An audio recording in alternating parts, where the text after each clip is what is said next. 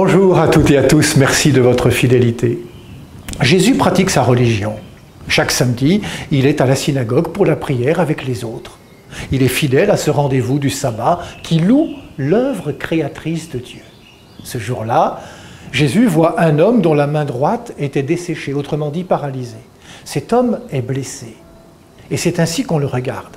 Mais Jésus voit d'abord la personne, et c'est à elle qu'il s'adresse en l'invitant à se mettre debout au centre de l'assemblée.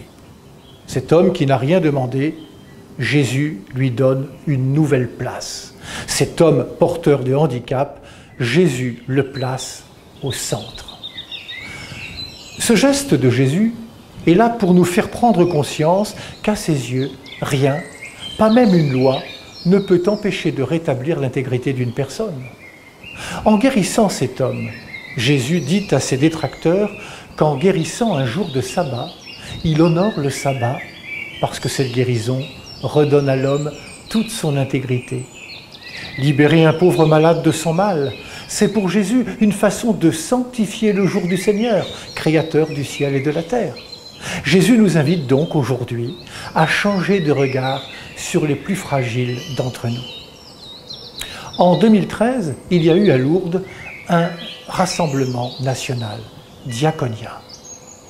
Daniel Massiel, son coordinateur, écrit Un travail souvent silencieux, ancré dans la parole de Dieu, a permis de prendre conscience que quelque chose de neuf restait à découvrir.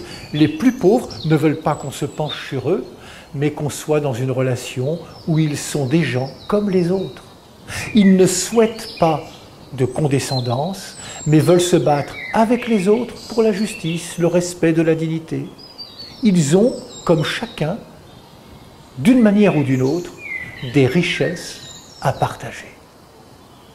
C'est la miséricorde que je veux, dit Jésus, et non le sacrifice.